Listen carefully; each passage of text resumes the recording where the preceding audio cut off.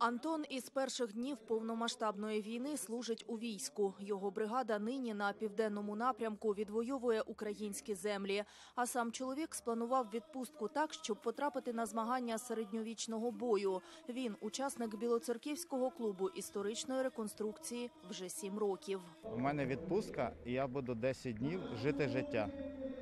От, оскільки це мені подобалось, не дивлячись на фізичне навантаження, котре зали стали ще типу тяжче, е, і я відчуваю типу в цьому життя. Турнір у стінах Луцького замку розпочався найбільш видовищною масовою номінацією 16 на 16.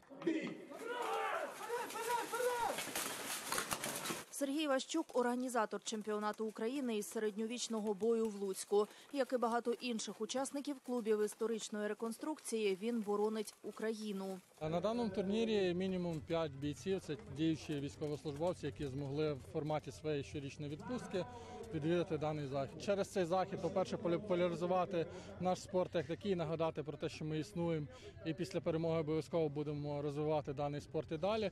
І Друга основна мета це збір коштів на потреби наших воїнів. На ристалищі чоловіки в лицарських обладунках, в руках мечі, алебарди, щити. Молодість, досвід, досвід, молодість побачимо. Це спорт, в якому є ризик дістати травму, тому бійці у надійному екіпіруванні. Учасники історичної реконструкції часто водночас і майстри, і спортсмени. В житті я, я займаюся тим, що я произвожу ці обладунки. Я, ну, я все з життя зараз зв'язав з цим відом спорту. Кошти за вхід на турнір витратять на допомогу українським військовим. Задонатити на перемогу та розповісти дітям про епоху середньовіччя приїхали волиняни та жителі сусідніх областей.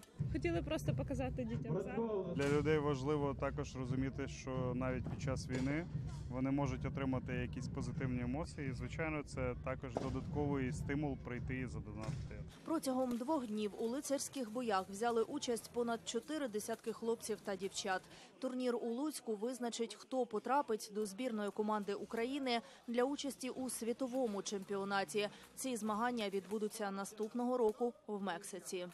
Юлія Корчевська, Роман Ковальчук. Подробиці телеканал Інтер. Марафон. Єдині новини.